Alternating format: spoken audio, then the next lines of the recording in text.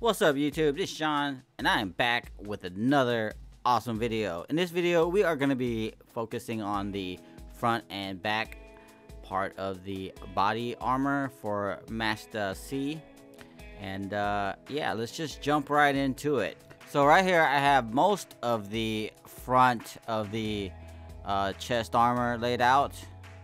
I'm going to start by assembling the chest piece and uh, basically do one side and then do the other side and it's just merge them together. There's going to be a lot of hard angle cuts.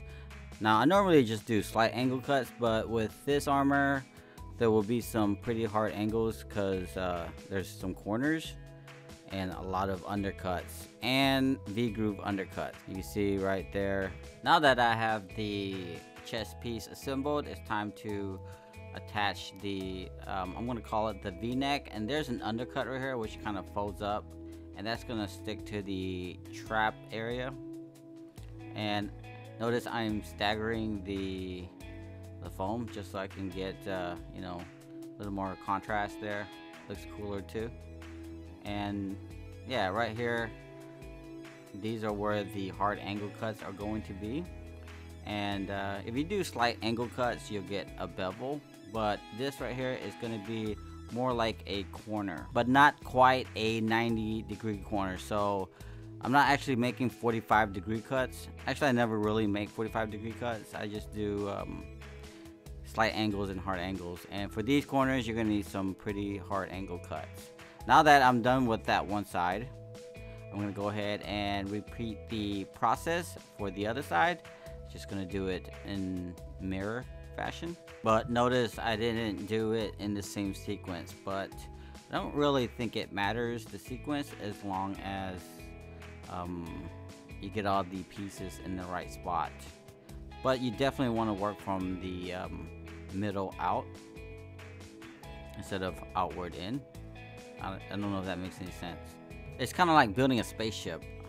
You start from the center and work your way out, and then you merge it at the center, and then you have a hole. So, uh, yeah. And if you've never built a spaceship, then, uh, yeah, I don't know where you've been. Alrighty, tidy. Now that I have both sides assembled, it's time to merge it down the center, just like that and then you should have something that looks like this alright let's move along but before we do uh, there are some undercuts here that needs to be filled in with some hot glue um, you don't actually have to use hot glue you can use uh, super glue and some scrap foam like I did on the helmet but filling these uh, undercuts in will help define the uh, the corners, the inward corners, which you'll see later. Now it's time to move along to the back.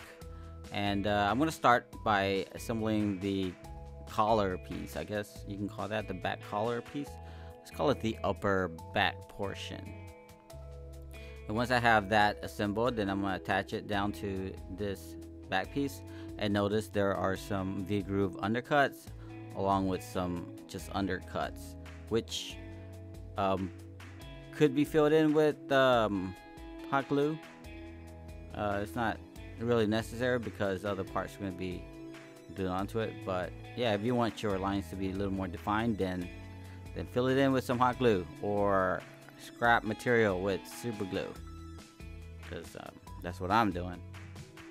Now, when you're filling in with hot glue, you want to make sure you keep it open until it's cooled down because if you leave it closed then you're basically just gluing it closed so yeah now it's time to attach on the uh, other pieces. Now this is where the hard angle cuts come in. These are quite a few hard angle cuts actually. The the upper back and the collar also had some hard angle cuts. So they're they're a little more they're a little more deeper than you know a bevel. You know what I mean. I'm gonna do the other side, like that. I guess with the back, I'm kind of just working from the center out. There's really nothing to merge in the center because the center is one piece.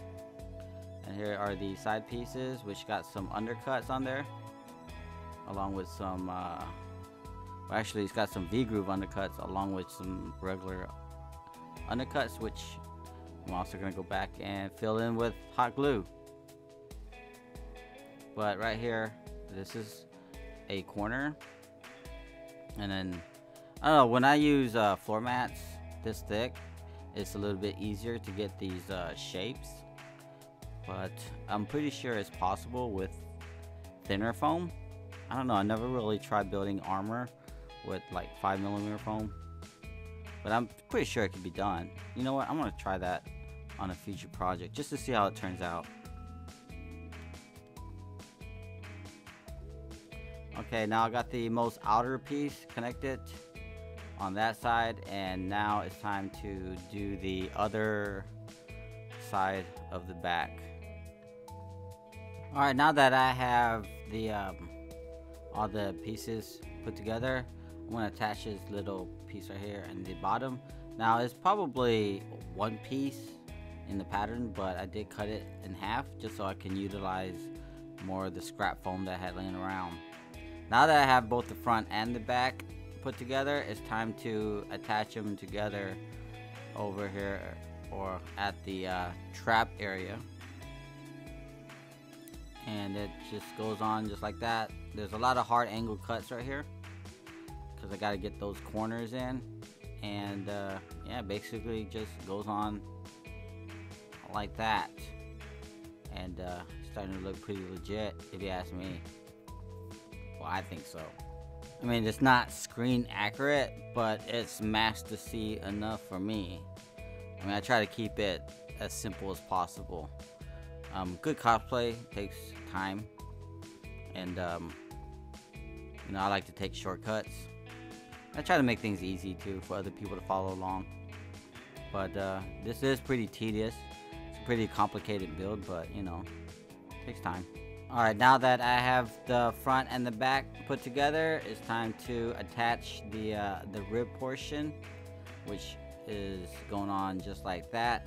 Now I do eventually cut the sides so I can get into the armor, but you see it here later on. Um, I'm installing the uh, lower trimming of the armor and uh, there's a little filler for this spot right here. So far, so groovy, and I am digging what I'm cooking. I hope you're digging it too. Now I'm gonna go through and heat seal the foam because we are getting close to finishing it up. This is the abdominal piece, not much to it. There's some V-groove undercuts there. And I have it attached to the uh, upper portion, just like that. Just some scrap uh, craft foam. I have the sides sliced so I can get into the armor. And I'm going to put some Velcro, some craft foam. But I'm going to stick the craft foam onto the uh, front part just like that and put on some velcro right there now I like using the hook velcro facing outward and the loop velcro inward because when I paint it the the uh, hook velcro can take paint and still work but if you get paint on the loop side of the velcro it doesn't want to work as good anymore so yeah and I put this little support beam in the back now you can actually use cushion I don't have any cushion, but it's just to keep the armor up because when I put it on, it, it felt like it was too low. But yeah, that's just to help it stand up off the body a little bit. Alright, so this is what it's looking like so far from the back. And here is a side front-ish angle view. And uh, yeah, I'm thinking it's going to be a really cool cosplay. And you can actually use it for other stuff too, like, I don't know, maybe a spacesuit or a Martian suit, something like that. I don't know. It's up to you. If you're into this kind of stuff, I mean, if you're really into it, then check the link in the description down below. And uh, make sure you subscribe because I am going to do a more in-depth tutorial on painting. Still gotta do the arms, the legs, whatever. But uh, yeah, don't forget to like, subscribe, and comment. And uh, yeah, I'll see you guys in the next one.